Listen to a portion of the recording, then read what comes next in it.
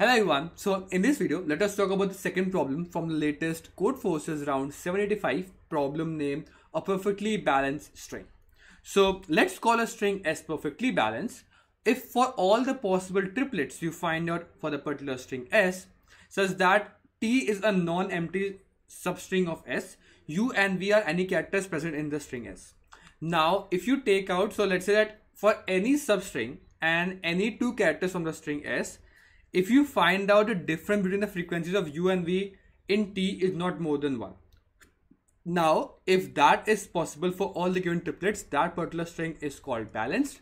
Now, for the given string that you have, you just have to find out whether the given string is balanced or not. So I'll tell you with an example, it will become more clear to you. So let's say that for a given string, let's say ABA, you have to find out all the given substrings for that given string. Okay. And then for among all the given substrings, you can take out any two characters from the given string that you have. And then you find out the frequency of that particular string, like the character. So let's say for the first string that you have, all the given substrings are this. Now, because only there are two characters, so A and B. So let's say for the given this string, the frequency of A is 1 and frequency of B in this particular substring is 0. For this substring, frequency of A is 1, frequency of B is 1. Frequency is 2, 1 and all of that. Now the difference like so as you can see uh, the difference between the frequencies of U and V should not be equal to 1 like should not be more than 1 and that is as you can see satisfied here. So that's the given string is a perfectly balanced string. But for let's say another string it not be possible and so on. So you just have to tell that now there can be multiple ways to solve this problem out but uh, the best like the first thing that you have to come to mind is let us remove this particular part. Let's say that you have any given string uh, let's say a string is like this aa bc okay? Now what you can see here is that if two characters are adjacent to each other like any two characters are adjacent to each other you can take this as a substring a and then you can take two characters. Okay for this given substring the characters can be this particular character that is a and any character out of this particular substring. So let's say c. Now because this character is present twice in this substring so the frequency of this a is 2 and the frequency of c is 0 so the answer is 2 and uh, it, will become false and because any of the triplets become false the complete substring like the complete string is not balanced or answer is bad. So you just have to ensure that like the first thing what you can ensure or what you can understand is that two characters cannot be side by side. Because if two characters are side by side then it can happen that like it can get bad.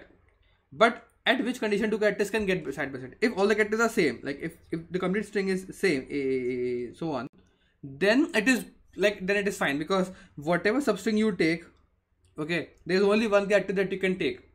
So you can take two characters that are same and the frequency of both the characters are same in this. So the answer is like uh, zero because the frequency of a is less than let, let's say in this particular substring is 4 and another a is 4 so the answer becomes 0 so you just have to find out any substring and frequency of any two characters from the given string that you have. The subtraction of those frequencies in this particular substring that you have taken should be less than equal to 1 if for all the triplets that is satisfying the answer is correctly fine that it is a perfectly balanced string else it's not. So for a given string that is all same then it is fine. Okay? So all same like if so what you can uh, observe here is so if there is only one type of character so if there is only one type of character the whole string should be of same like the whole string should be same let's say that the characters so the, the thing here is that if the if we have only one type of character one type so the whole string should be same that the whole string should be only counting of that character. If there are two type of character let's say a and b so if a is a is not possible because two characters cannot be of same type same like consecutively because if they are same type and we have two different type of characters we can take this as a substring and we can find out the frequency of A and B. So in this in this substring, the frequency of A is uh, 2 and the frequency of B is 0. So the answer becomes false. So it means that they can be alternative. So AB, AB, AB and so on.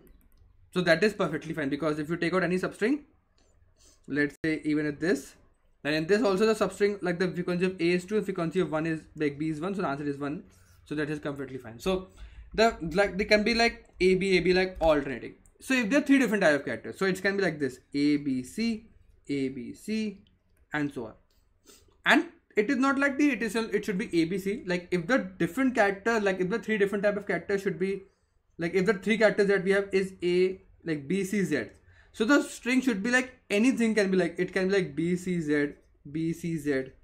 Or it can be like c z b c z b. But it should be like a like a periodic of all the three characters like this because then it is only satisfying because if any two characters of the same type come close okay or if we have two characters in the frequent like in the zone that are same. What i mean by this is so let's say that it is like this c z b then it is like z c b.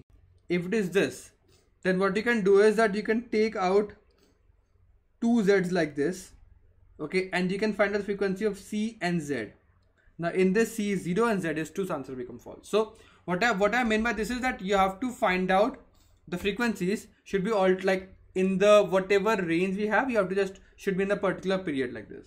So i'll say, take it on to the code part now. So what i've done here is that we have to take a because we have to find a different number of characters we have we have made a set.